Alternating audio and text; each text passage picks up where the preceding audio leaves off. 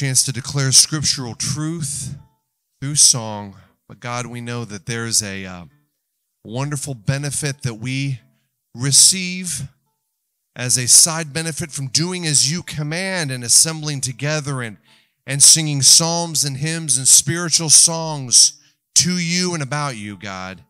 And that's that we are exhorted, we are encouraged, we're reminded too. Yes, every week we'd rather have you, God. It is better to have Jesus than all these other things we listed. God, thank you for the chance we have to remind ourselves, exhort ourselves, and encourage each other through the singing of these songs tonight, God. And I pray for this panel that uh, your hand will be upon them, God, as they declare what you'd have them to declare tonight. In Jesus' name I pray. Amen. Man, please be seated.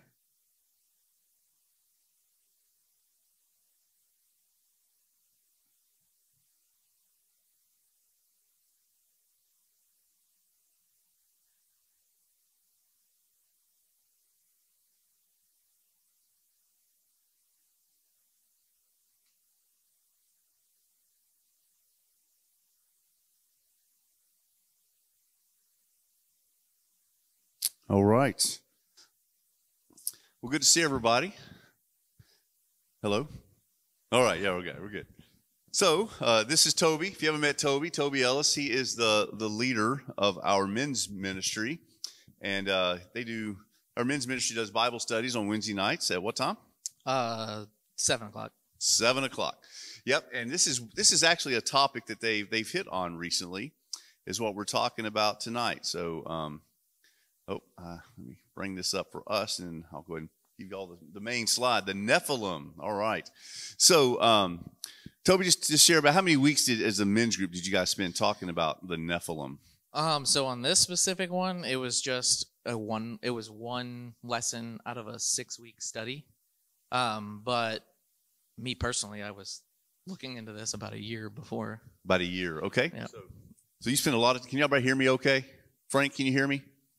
All right, good deal. So, um, yeah, looking at the Nephilim, um, it's a it's a fascinating topic. How many of you have ever read about the Nephilim before? Just raise your hand.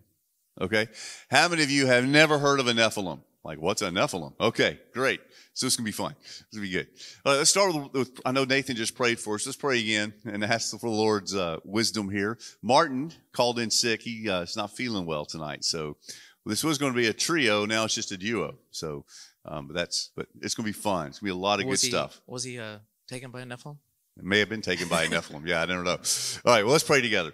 Well, Lord, we love you. Thank you for your grace and faithfulness. And God, thank you for the opportunity we have just to gather tonight and uh, sing these great songs of worship to you and about you. But now also, Lord, just to dive into your word about a, an interesting topic that's, uh, that's so biblical and historical. And um, God, it's just an interesting topic. So give us understanding and help us to see Lord, really how you're working through the whole process. So, God, bless our time in Jesus' name. Amen.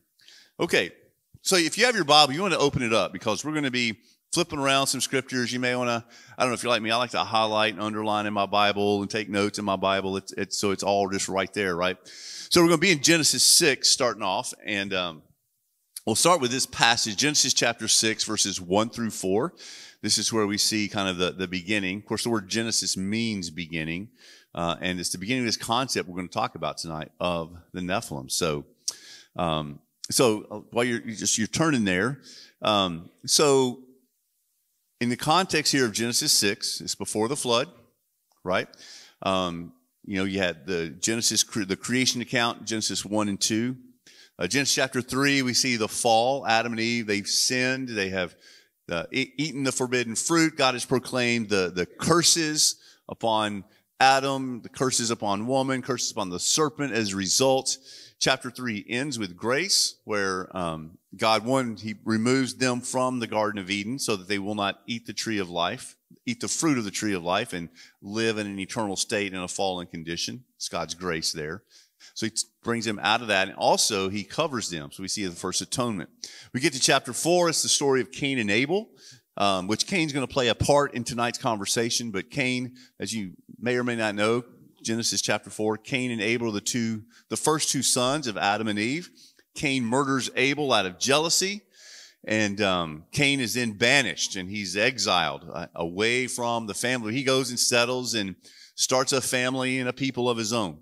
Um, that's an interesting question we might have at some point is where does Cain's wife come from? That's another fun biblical question, but we're not dealing with that one tonight. But then you get to Genesis 5 and we meet Seth.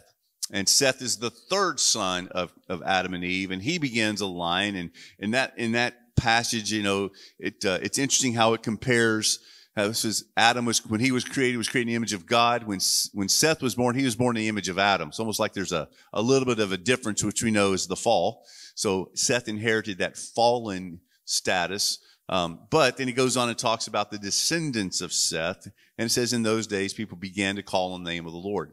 So all that is Genesis one through five. That brings us Genesis six, and so here we I'll just read this and then we'll get into this and let Toby talk us through some of his study and findings on two, two key terms we're looking at tonight. The sons of God is one conversation we're going to have.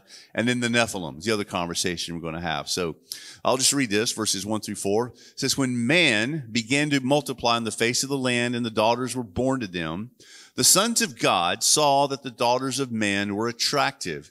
And so they took as their wives any they chose. Then the Lord said, My spirit shall not abide in man forever, for he is flesh, and his days shall be a 120 years. The Nephilim were on the earth in those days, and also afterward, whenever the sons of God came into the daughters of man, and they bore children to them. These were the mighty men who were of old, the men of renown. Okay, so Toby, you asked the question here Who are the sons of God? So that's kind of the biggest key to understanding this. Um, and you'll so there's actually three different interpretations for this. Um, the first one is what is known as the Sethite view, um, and so the Sethite view is that um, the sons of God are the descendants of Seth that he talked about, and then by contrast, the daughters of men are then the descendants of Cain. Um, and so the the church has held this view since the middle of the fifth century. So this is a this is a view that is pretty popular in the church. It's a pretty common view in the church. Um, but that's the first time we see it is in the the fifth century. Uh, Julius Africanus, he's the he's the first one to write about it, um, and he's the actually the only one before the Council of Nicaea that does hold that view. Um, and then the first place you see this view defended uh, by anybody in church history is Augustine of Hippo, which uh, you guys covered. Yeah, we did, but you say it wrong. Augustine. no, that's good. That's a joke we had the other night. Yeah. yeah. So, oh, yeah, Augustine had it in the city of God. Yep. Right. Yeah. Okay. Uh, so interesting. So this this view. So here, the sons of God are considered Seth's descendants. Correct. So that's a Genesis five genealogy. Correct. Whereas the daughters of man would refer to Cain's descendants, which is more of the Genesis four genealogy. Okay. And so where that kind of comes from is if you look through Cain's genealogy, it talks about the man named Lamech, who is seven times more wicked than Cain. There's a poem in there, I guess, where he says if Cain's punishment was seven, I, I don't know exactly what it is, but it's like it. So whatever Cain's punishment is, Lamech's is seven times more than that. Um, and then with Seth, uh, in his descendants, there's a man named Enoch, and that's the man that is said to have walked with God, and then he was taken. Um, so it kind of that's kind of where the Cain's line represents wicked humanity, and then Seth's line rep, represents the righteous line of God's people. Yeah, I'm looking for the Lamech passage. We we meet Lamech in uh, yeah Genesis four, right? Yeah, it's yeah. There's a little poem here in verse 23. Lamech said to his wives when he took he was he's he the first one we know that had multiple wives, I believe too, yeah. right? Which shows just a violent, oppressive kind of fella. He says, Adah and Zillah, hear my voice, you wives of Lamech. Listen to what I say. I have killed a man for wounding me, a young man for striking me. If Cain's revenge is sevenfold, then Lamech's is 77fold. Yeah. Yeah. So he was just kind of a, a the epitome of the, the downward spiral of humanity that was going so quickly because of the fall. Yeah. Okay. Uh, so, like I said, that's that's the most pre- this view has been held by the church for the of the three views, this one has been held by the church for the longest. Uh, but there are some objections to that. and that's what we'll look at next. But so Cain's lineage doesn't speak to anyone other than Lamech being wicked. Uh, Seth's lineage doesn't mention anyone other than Enoch and Noah being righteous.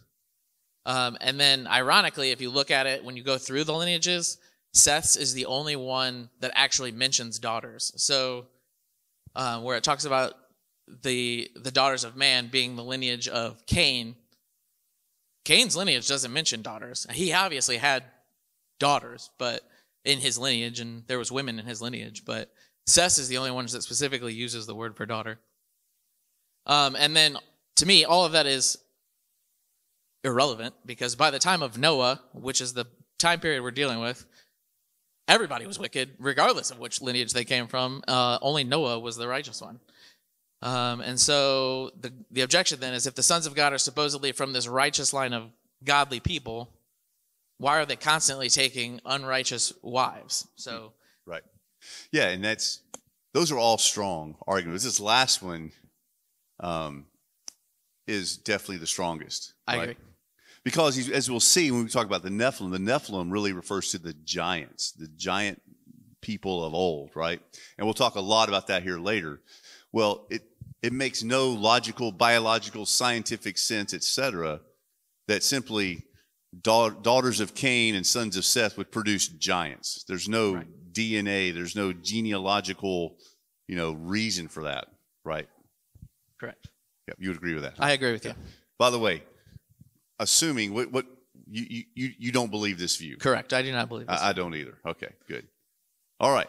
The next view. So this one is probably the one that the least amount of people have heard about. Um, it's the divine king's view, and so this kind of takes into account the common practice of just pagan cultures and the their kings and their rulers just declaring themselves to be deity or they're associated with deity. We see this a lot, like with Pharaoh. He speaks for the gods. If things are going good in Egypt, it's Pharaoh's. He's the reason for it. Um, if things are going bad in Egypt, God is uh, like the gods are punishing the people through Pharaoh. So, thus, the sons of God, they were rulers who forcefully took the common women into their harems. And so, that's kind of the, because Genesis 6 definitely has a, this was a negative, sinful action that took place. So that's where the sin comes in. That it's multiple women being brought in, forced against their will, into the to the uh, marriage into marriages with these wicked kings, rulers, whatever. Uh, so this is actually the second oldest view. Most people don't realize that. So we had the Seth. the Sethite view, which actually is the newest view, even though it's been held by the church the longest. But this divine king's view, this actually came about in the second century by Jewish interpreters, and I think that plays a little bit into why they interpreted it this way. Uh, and then there was a guy named Rabbi Simeon Bar Yochai. I don't know how to exactly pronounce that, but Right? Sounded good to me. uh, he uh, he condemned any anyone in the Jewish faith who did not accept this view, and so and this so the reason they kind of adopted this is this was bolstered by there's a Sumerian king list that was found in the region dating from this time, and many of the themes parallel Genesis one through eleven, um, and then it very heavily identifies the kings as being divinely appointed. Uh, and it identifies the Sumerian kings as gods. So that's kind of where this interpretation came from. But Yeah, just interesting question on that. You kind of alluded to this, but why do you think it seemed advantageous to the Jewish rabbis to have this view? And so much so that he would, that Rabbi Simeon Bar Yochai would say, if you don't have this view, you cannot be in the in the synagogue or whatever. yeah, so the third view that we'll talk about is the fallen angel view that we'll get into it. But I think second century, post Christ, post resurrection, post fall of Jerusalem, the Jewish leaders had a very big advantage to try, or a, a motive to try to dissuade people from believing that spiritual beings can become flesh. And that would be because they're trying to distance themselves from Christ. That's right, from Christianity. Yeah, it's very good. All right, good deal. So let's look at some objectives, object, objections to the divine king's view. Yeah, so one of them is a lot of people are they say the reason that we believe or this view believes that the the women were taken is because it says that they took wives for themselves. Um, but there's nothing in Genesis 4 that indicates that they were not willing participants. We see Abraham, Isaac, and Jacob. This language is all the same. It's they took wives for themselves. And I think even in the case of Isaac, when he took Rebecca as his wife, Isaac wasn't even there. Rebecca willingly came with the the servant to become his Yep. wife. Yep. Um, uh, and so this was main like so we talked about this, but the this view was mainly adopted by those who wish to distance themselves uh, from the sons of God terminology uh, to reject Christ's claims to divinity. Yep.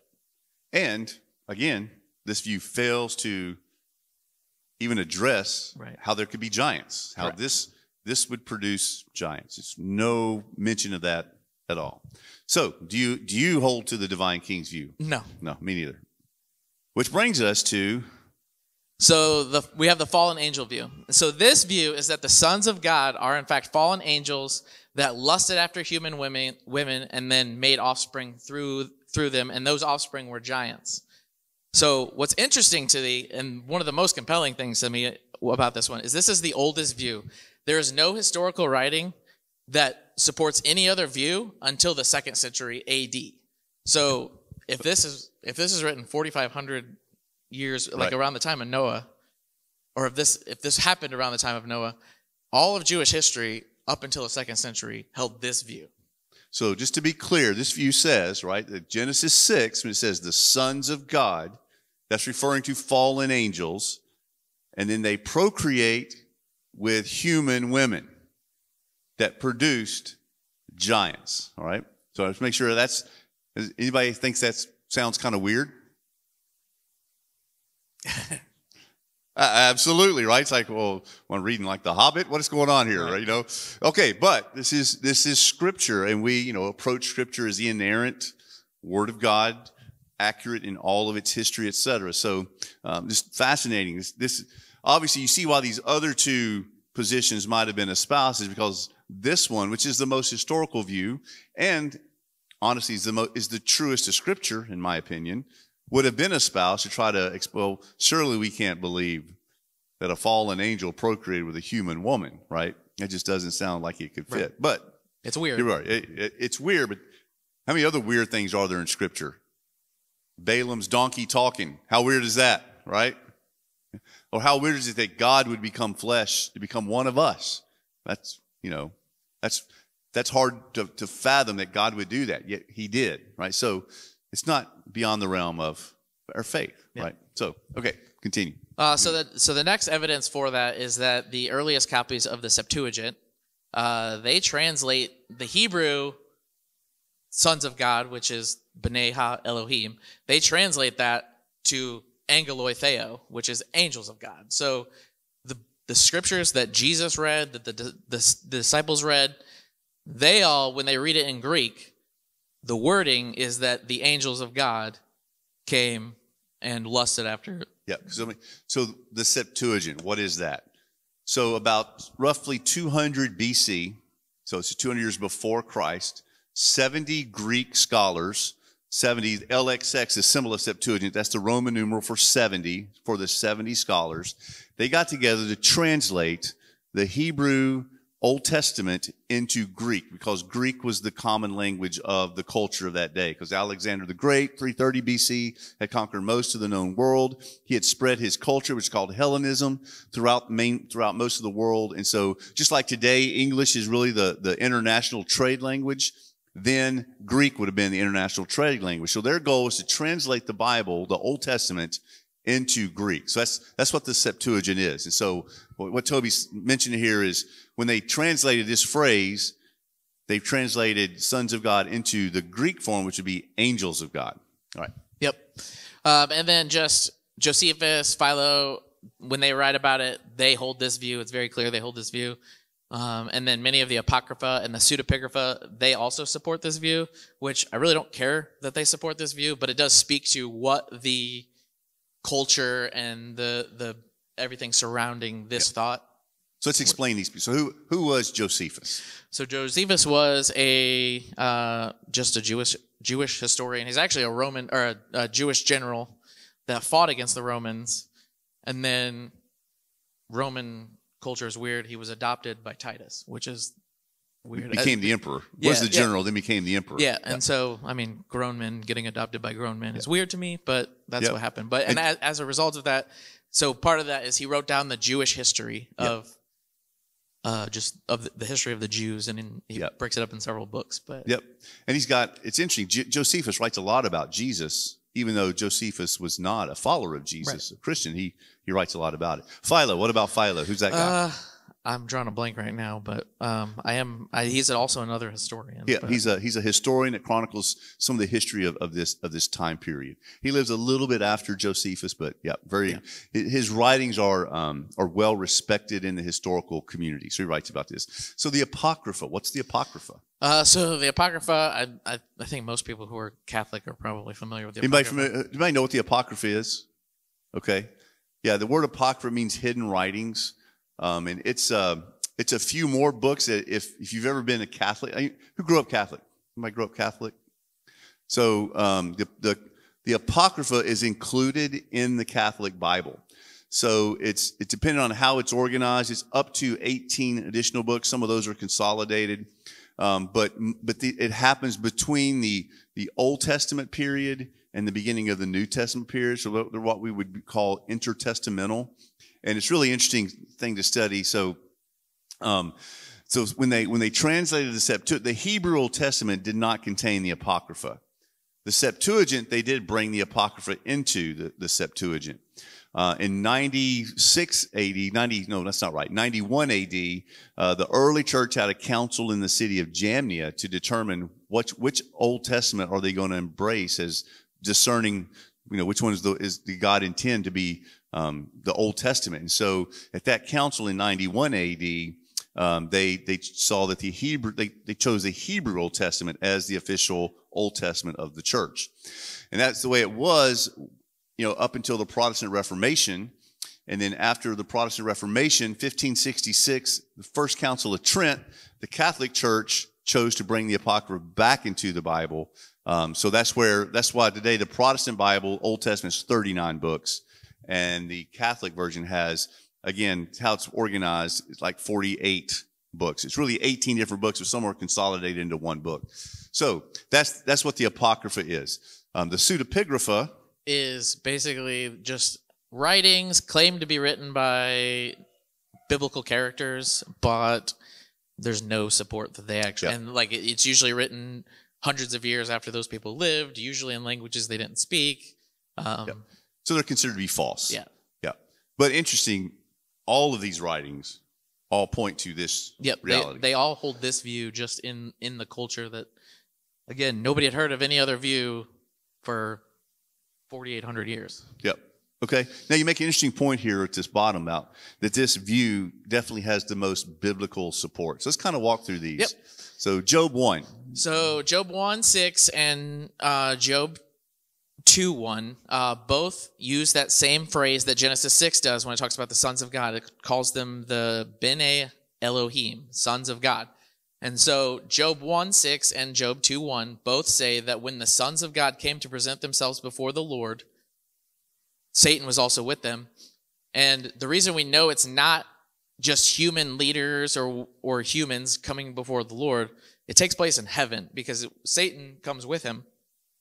And God asks Satan where he's been. He says, "I've been coming to and fro and through the earth." So clearly this isn't taking place on earth. So this meeting that they're having is taking place in heaven. So it has to be in in Job, it has to be angels that are having this counsel with God, and then it's the same word, exact same word that's used in Genesis six. And Job is from around the same time as Abraham. So, Yep. Um, and then in Job 38, 4, 7, we have the same phrase again of the sons of God rejoicing at creation. So it'd be really hard for humans to be at creation rejoicing when they weren't created yet. right. It's good. Okay. That's strong. What about Deuteronomy 29, 32? Uh, so both these uh, chapters paint the picture of nations being divided according to the number of the sons of God. So the fallen angels then are later worshipped as false gods. So there you have the fallen. Which would not make nearly as much sense if sons of God were Right. sons of Seth or divine kings. Right. Okay. And then Daniel 3, um, Nebuchadnezzar, actually one of my favorite Bible characters. But he, so we all know the story. Dan, or Daniel's friends, Shadrach, Meshach, and Abednego, they get thrown into the furnace. And then it, somebody brings it to Nebuchadnezzar's attention that there's a fourth man in the fire.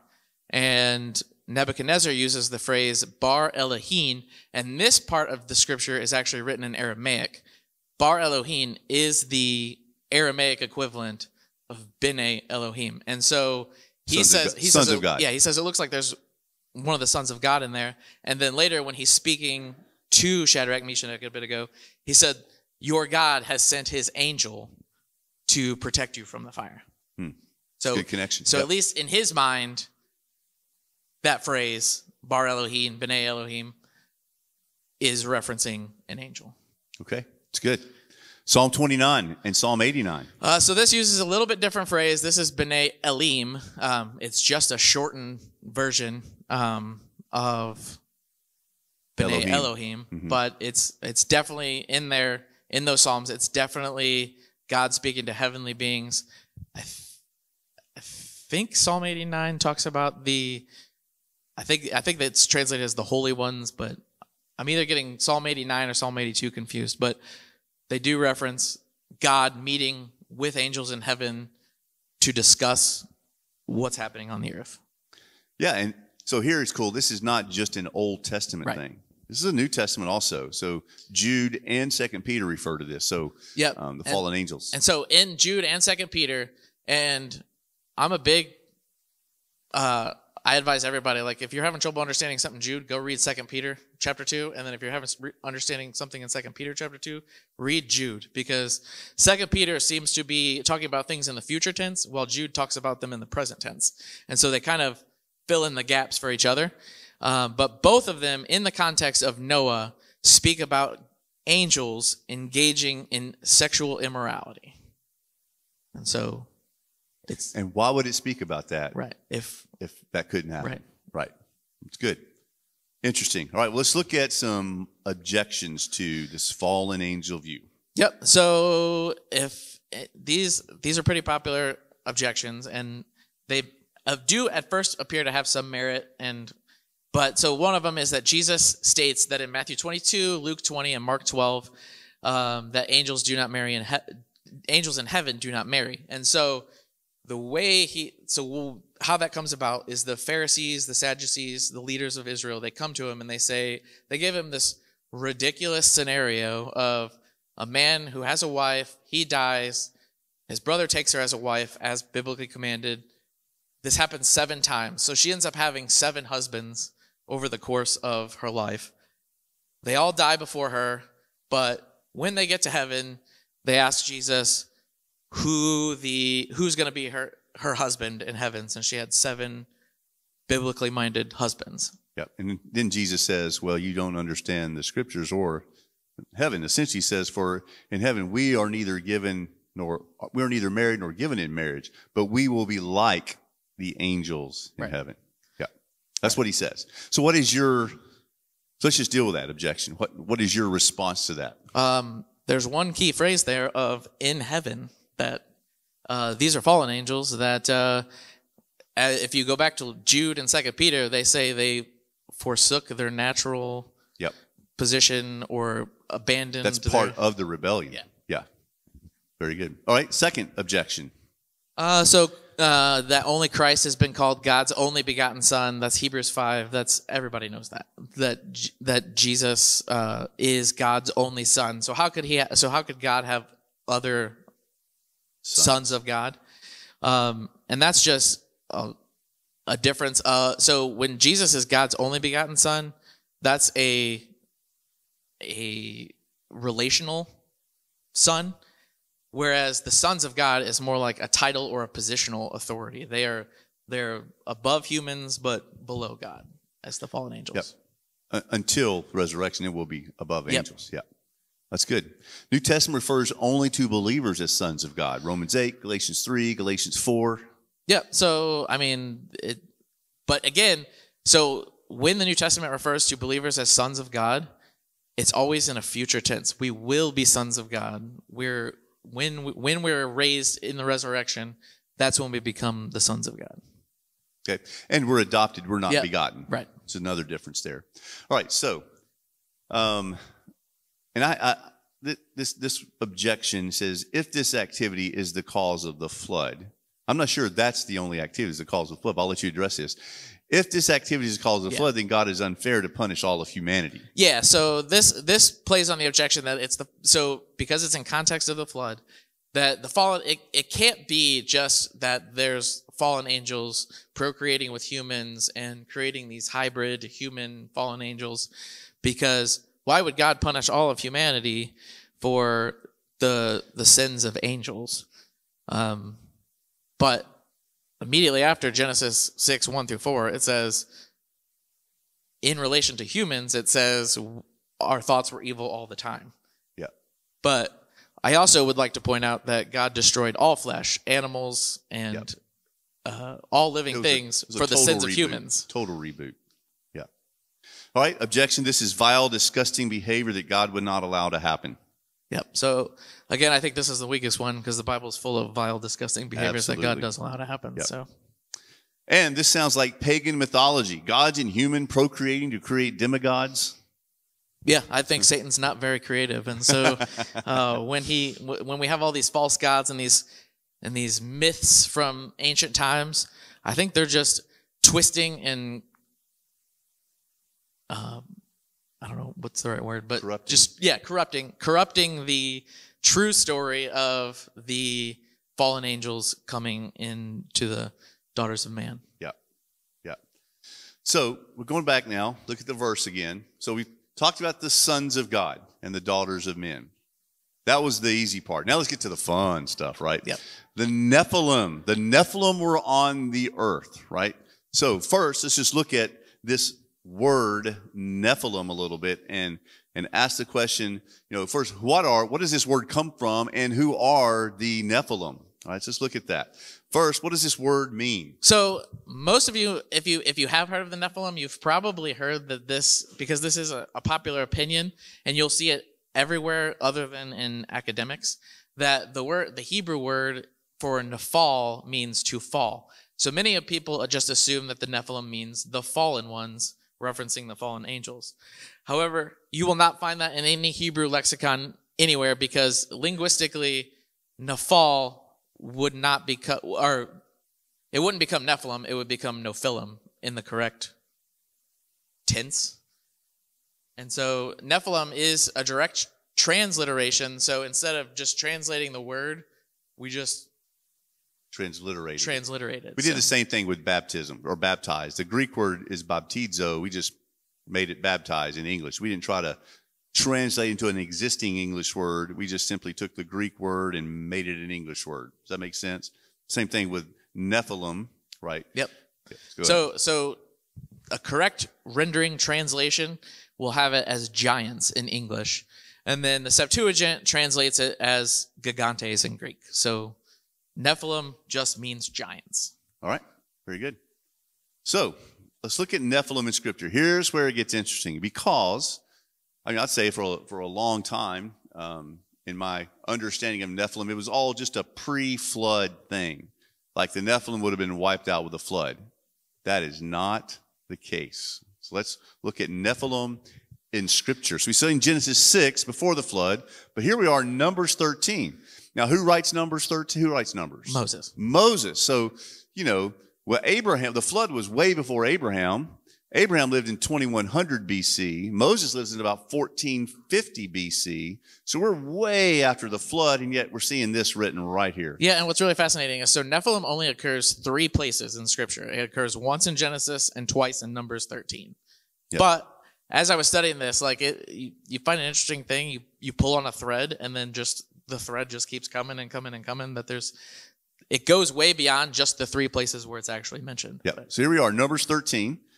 says at the end of 40 days, this is about when the, the, um, the spies, remember when Moses sent the 12 spies into the land of Canaan to scout it out? They come back and they make their report. Let's dig into that report a little bit. At the end of 40 days, they returned from spying out the land, and they came to Moses and Aaron and to all the congregation of the people of Israel in the wilderness of Paran at Kadesh. They brought back word to them and all the congregation and showed them the fruit of the land and told them, We came to the land which you sent us. It flows with milk and honey. And this is its fruit. However, the people who dwell in the land are strong and the cities are fortified and very large. And besides, we saw the descendants of Anak there. Remember that guy's name. All right. We're going to continue on here. The, the Amalekites dwell in the land of Negeb. The Hittites, the Jebusites, the Amorites dwell in the land, hill country, and the Canaanites dwell by the sea and along the Jordan. But Caleb quieted the people before Moses and said, Let us go up at once and occupy it, for we are well able to overcome it. Then the men who had gone up with him said, We are not able to go up against the people, for they are stronger than we are. So they brought to the people of Israel a bad report of land that they had spied out, saying, The land through which we have gone out to spy it out is a land that devours its inhabitants, and all the people that we saw in it are of great height. One more. And there we saw the Nephilim, the sons of Anak, who come from the Nephilim, and we seemed to ourselves like grasshoppers, and so we seemed to them. So what what could that mean? Well, it sounds like there's Nephilim in in the land of Canaan at the time that the spies go in to to deliver this report to Moses. Yeah, so some interesting things about this report. Yeah. So if you read before this, um, the there's grapes in the land, and and one cluster has to be carried on a pole by two men. That's how big the grapes were, which I thought was fascinating. Um, but uh, they give a report that the people of the land are strong and of great height. The cities are fortified and huge, and the descendants of the Nak of Anak who came from the Nephilim were there. So I would like to point out that the descendants of Anak are a separate argument why they shouldn't go in from just the people being strong and great. Um, and then it talks about the land devouring its inhabitants. So it's likely a reference to cannibalism. In every culture where we see giants, you they're associated with cannibalism. If you've ever read the Odyssey, one of the first islands that his crew goes to, uh, there's giants there. Most of the men get wiped out because they're eaten. Um, even just in, in nursery rhymes, we have Jack and the Beanstalk. He he's told that he's going to be ground up and the bones are going to be made for bread. And so, And that's what we read to our kids at night. yeah, right. Yeah. Lovely. And then what's Fee, fi, fo, fum. That's right. Well, what's really fascinating though is Joshua and Caleb's rebuttal to the people doesn't object to any of this. They don't say you're just making it up. There's no Nephilim in the land. Hmm. The the cities are great. They're like, yeah, all that's true, but God is going to give us the land, and the people of the land will be bread to us. Not that it's they're saying that there's going to be cannibalism, but he's flipping that narrative that we're going to be eaten if we go into this land. It's like, no, God's going to destroy all these people, and we are going to Eat well. eat well. Yeah. Yeah. Not going to eat the giants. Right. To, yeah. Right. You eat those big old grapes. Yeah, that's right. Yeah, that's good. All right. So, really interesting. Um, so, this brings us to a, a really fascinating topic um, as you start unpacking the scriptures here. Um, it's already 553.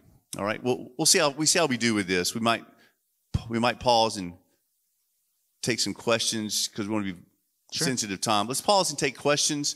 We might come back and tackle the clans of giants next time. Sure. All right.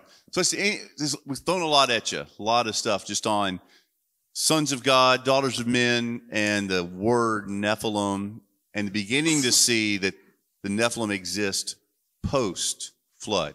Right. That's that's a big deal, right? And as we'll see, you know, the the clan the clans of the Nephilim, clans of giants. I mean, it's going to make sense where Goliath comes from. It's going to make sense. We'll meet this King Og in the Old Testament. And so anyway, but want to hear any of your questions that you may have up to this point. All right, we got one over here, Stevie T. Hold, on one second, Steve. We're recording this, so we want to capture all the questions. Yep. My wife warned me to keep it uh, keep it nice here.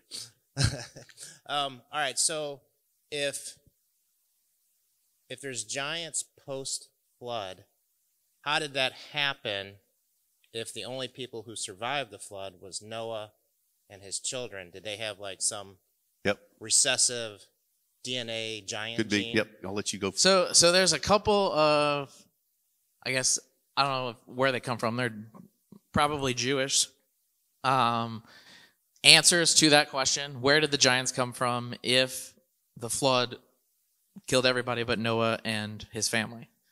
So one of the most ridiculous ones I think is that there was a giant so it's actually King Og is the is the theory, but that a Nephilim, because they were giants, were able to cling on to the side of the ark and just hold on for dear life until the end of the flood. Ridiculous. Yeah. Um, the other one is that possibly somebody on the ark had a distant relative that was a Nephilim. Therefore, the Nephilim DNA is preserved through their bloodline. Um, many people suggest it could have been one of the son's wives because they weren't part of the family.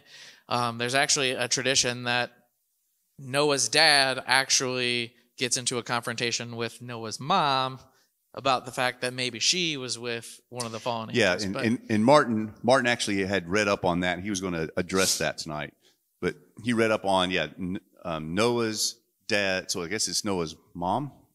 yeah. Yeah, that um, there's this Jewish theory that his mom had Nephilim blood in her. Yeah, but I don't. I don't know. I I think it just is easily explained by looking at Genesis Six. six one. It's Yeah, I'll go back go back up to there. so in there. So if you look at your Bible, verse four says the Nephilim were on the earth in those days, and also afterwards.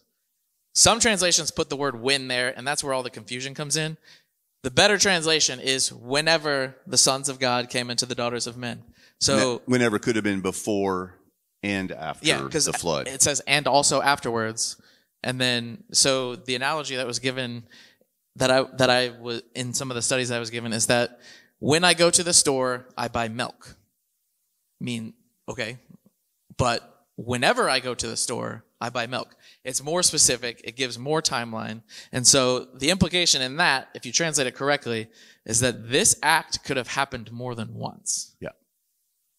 There was a season pre and post flood. Yeah.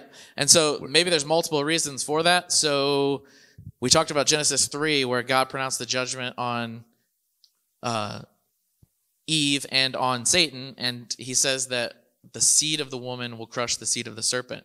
So it, a, a popular theory about why this happened is that you have these evil spiritual forces trying to mess with that human DNA and try to corrupt the woman's seed before we can get to Messiah. the Messiah. Yep. And then and then another reason it might happen is that once the because they're pre, the giants are very prevalent in the land of Canaan.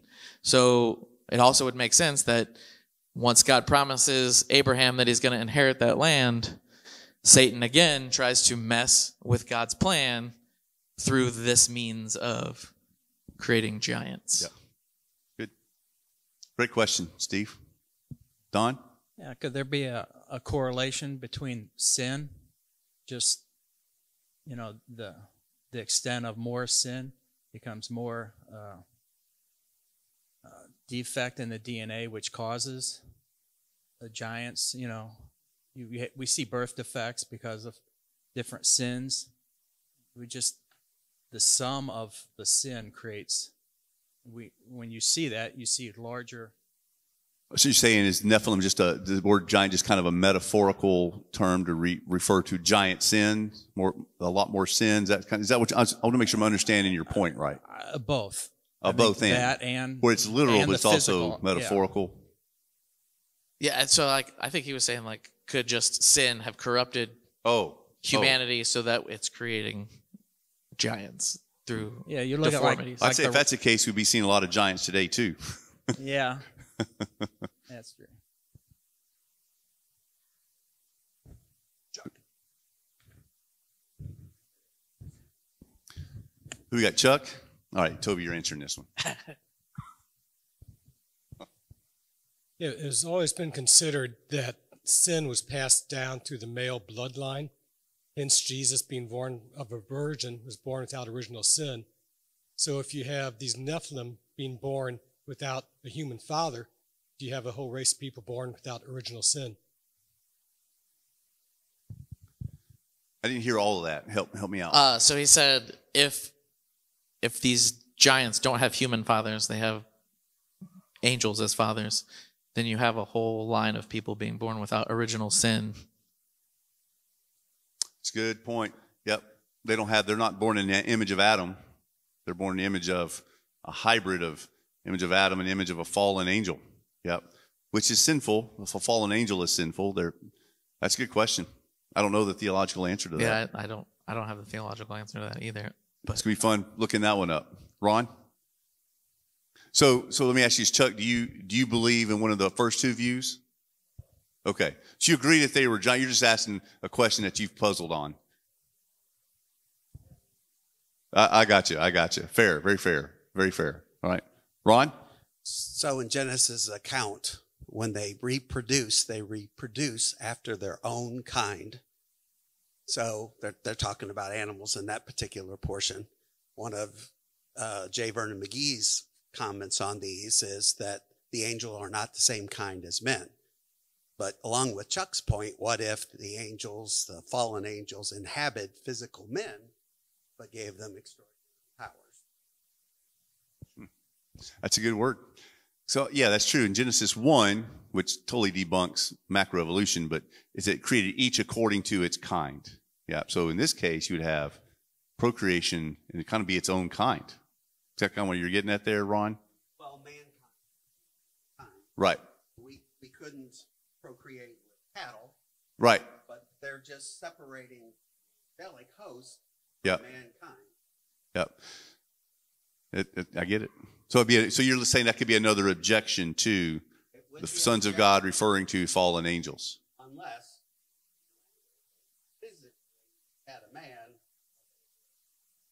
taken over. by Oh, possessed by. demonic host. Yep. It's good, interesting Yeah. thought. So uh, a fallen angel would possess a man to procreate through. Hmm. Interesting theory. So so I do know. I mean, I don't. I agree that the Bible is clear that you only produce after your own kind. However, if I if I remember correctly, I don't think that is said of humans in Genesis one. It is only said of animals, and uh, only the animals produce after their own kind. But I mean, obviously, humans only create humans. That, but yeah. but that is not something that and then it also plays into the fact of how do you define created in the image of god so Hmm. there's there is an element of being created in the image of god that we get to participate in creation that we um, have reasoning and um, just everything that makes us human you could also apply that to angels other than we are physical mortal beings and they are not. Yeah, and that's that's interesting. So really, kind of go back up to the. Yeah. So where's the? I got to find that Numbers thirty-two passage. Where's that at? Um, Nope. I'm looking for the Numbers thirteen passage. Okay. Thanks. Okay, the, the very last the very last one, verse. Yep, we saw the Nephilim. So this is the inerrant word of God. So here, the Nephilim were there after the flood. So biblically, it's it's it's not an argument. We we know the Nephilim were in the land of Canaan after the flood, right? So now we have to wrestle with, as biblical students, how do we reconcile some of these questions? You know. Um, which is that's the whole pursuit of growing and learning, right? It's when you read scripture, say, okay, I understand that this is true. I totally, yep, this is true. The Bible says it. This is true. The Bible says it. I don't know how that and that equal to, can work together, though. You know, this is just the process of rightly dividing the Word of God. So the answer's here somewhere, right? right. Um, but of the the three views that exist, um, you know, the Sethite view, the Divine King's view, and this one, I mean, the first two views make no, in my mind, make no sense of why the the the Jewish people would be scared to go into the promised land from the Nephilim if they were just a different, you know, Yeah. just just regular humans. But the fact that they would be Nephilim and giants, that's that's another huge reason to be afraid. Yeah, and and also to be clear too, the Bible never calls these giants anything other than men. So it's not like they're some other kind of man. They're just giant men. And it, and even in Genesis, in Genesis four, it says they were the mighty men of old, Hmm. the men of renown. So Yep. it, it's clear that they are they are human, but maybe their DNA is altered by Maybe they were possessed. That's a good, Yeah. plausible answer to how that mechanically worked. Right? Yeah. It's good. Interesting. All right, Ed. I do have a question. The Book of Enoch mentions Nephilim. What is the validity of the Book of Enoch as a historical text? Yeah, something about the Book of Enoch. Yeah, he said, "What's the validity of the Book of Enoch?" That's a good question. Jude actually quotes the book of Enoch. The issue is, it for whatever reason, when the Old Testament um, scholars were compiling the old books of the Old Testament, they they um, had a kind of a three-tier test by which they discerned which books were supposed to be included in the canon. It's, pro- it's called the process of canonization.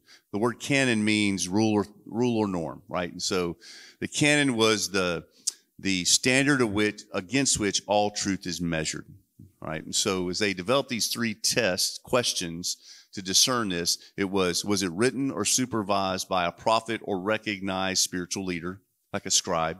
Second um, did it apply to all generations? And third was it theologically consistent with other existing works right? So that was the three test of the old testament canonization process. So for whatever reason the book of enoch um, did not meet all three of those criteria. But it is interesting that jude does cite it in the new testament but then the issue is i mean we still have the book of enoch today or so we think there's a lot of skepticism as to where the book of enoch we have today is the original book of enoch that jude from which jude quotes so there's been so much um, corruption of that book or questions in that book from the very beginning. It's just never been considered part of Scripture. Does that make sense? Interesting read, no doubt about it, but uh, not sure it's part of Scripture. Yeah. All right, Barb, Was Goliath a Nephilim? what she She said was was- Goliath and Nephilim. Um, we'll get to that in the next session. Um, he's connected, yes. Spoiler alert, yes. Spoiler, but we'll We'll talk show you about- how. Yeah, we'll trace that next time. Yeah, it's good stuff. You might get to this later, but what happened to them? What happened to them? Uh, I mean that's a good question. Uh, other than at least the at least at least the first one, the first group were clearly destroyed in the flood. The second group were wiped out by Joshua and then finished off by King David. But why we don't have them today, I don't know. I, I would venture to guess that if the original purpose was to destroy God's plan for salvation, it's already been accomplished. So it'd be kind of futile. That would be my personal opinion on why we don't have Nephilim today. All right. Yep. I had- I had a question. so after the flood, when um, Noah was naked and Canaan saw him and told his brothers Shem and Ham, you know, um, it says, Cursed be Canaan, a servant of the servant shall he be to his brothers. And I just wondered if that had to do with, I mean, he was banished away from where they were, that they were vulnerable and it was like a generational curse to them and the gods came down and mated with their women again but it's not said in the bible but i just Yeah. I'd say it's a possibility because, you know, Canaan is the son of Ham who settles the land of Canaan, Canaanites. That's where they were. Uh, a possibility. Yep. It's a good thought. Yep. Sean? I was just curious as to whether any of the the the first two views are is there anyone that's still holding on to those today? Oh, good question. Who who holds on to those? I haven't researched So, that. so the second view, I don't, I don't know any. I don't. I doesn't- Divine King in view? studying this, this is the first time I'd ever heard of that view. Uh, the Sethite view, I think, is actually probably the pretty predominant view among Protestant uh, seminaries. Even, I mean, I don't know. Josh, is that what they taught at seminary, or did they even cover it? Okay, so I mean, we, we talked about it in my seminary.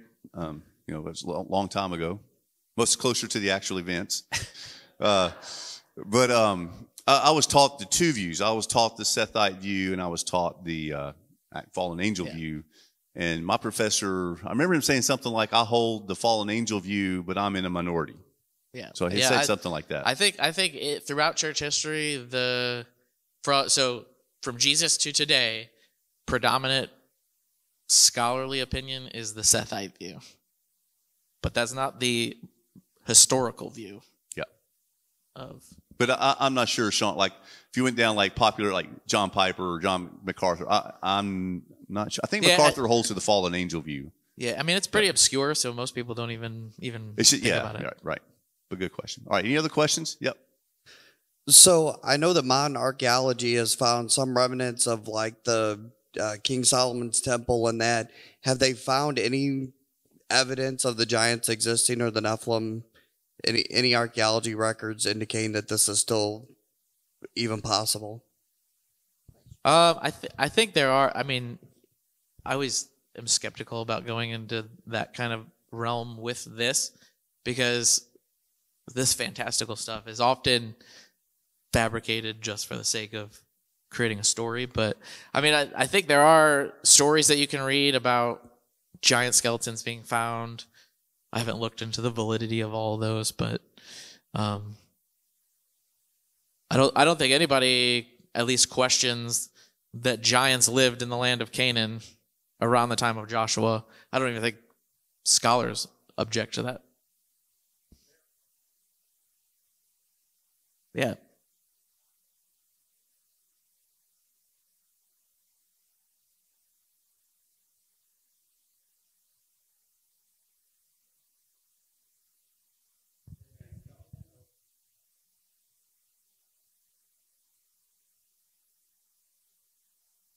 Which slide would you like, Pastor?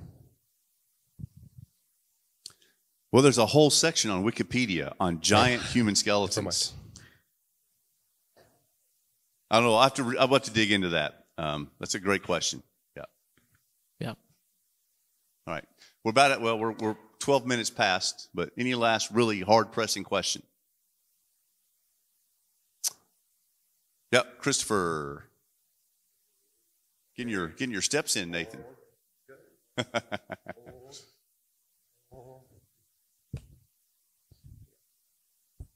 So, how do we apply this to our spiritual lives today? Like, what is the spiritual importance in our walk with God of this? What do you, what do you ask? He said, "What's the spiritual importance of our walk with God today?" To Well, I think um, obviously not a ton directly, um, but I think how we approach and handle the teaching of Scripture does have direct impact.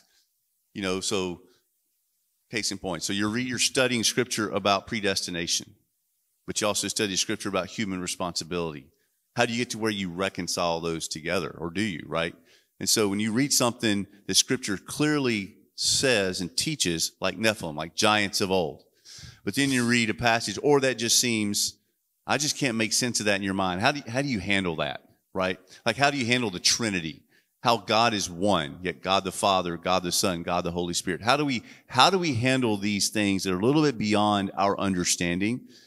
Do we just reject it? Which I think those that take a Sethite view, that's that's kind of a step you're taking. Just well, it can't mean that because I don't understand how that could be. That's not a good excuse not to believe Scripture, right? Um, so I, I, that would be an indirect application is just, just how we process scripture and how we study scripture and take and apply these truths to us. Obviously, what you believe about the Nephilim has no direct impact on your walk with Jesus today, right? Um, but it does in how